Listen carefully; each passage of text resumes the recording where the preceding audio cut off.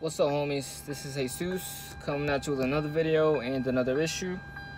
So to make it short, yesterday there was a huge storm um, and there was a huge flood. So when I went outside, uh, I was leaving work, I saw the water, the flood on the parking lot was literally past my rims. So I didn't want to walk in all that. So I had somebody in a truck give me a ride and I literally had to, I jumped on their bed of the truck and hopped in from the trunk because I didn't want to open the door and have all the water come inside the car, which it did either way. But to make it simple, I started the car as fast as I could and literally floored it out of there because I didn't want to leave my car long in the water because I didn't want to risk it. I didn't want to risk getting water inside my intake or wherever. The point is that when I was leaving home that day, uh, the ch the check engine light popped up. Literally as I was driving out of work to go home, and the car literally slipped on me three times. The transmission slipped three times. So today I got a scan, got a scan tool, and the check engine light code that popped up was P1602, which is transmission control module. Well, that happened yesterday. Today, this morning, the light literally was not there. And then when I made a quick drive, the car drove perfectly fine.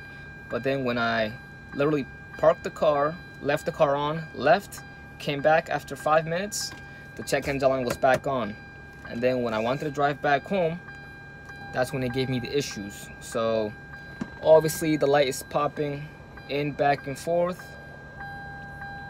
Um, so I'm hoping it's like a bad circuit, bad connection. I gotta check that out tomorrow. But obviously it wasn't very smart of me to start the car with literally water up that high. But although I did check my fluids, I checked my oil, my transmission fluid, they didn't seem to have any water.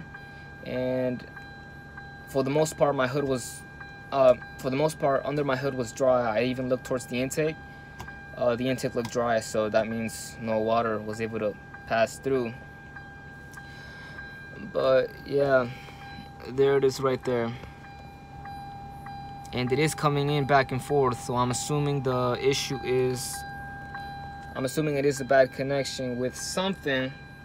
Hopefully I just gotta figure it out tomorrow at work but if you guys have this issue with code P1602, especially on a Hyundai, feel free to leave me any suggestions. And if I'm able to figure it out, hopefully fix it, I'll give you guys ways on how to approach it and hopefully solve this issue. But yeah, let me know what you guys think and I'll keep you guys updated.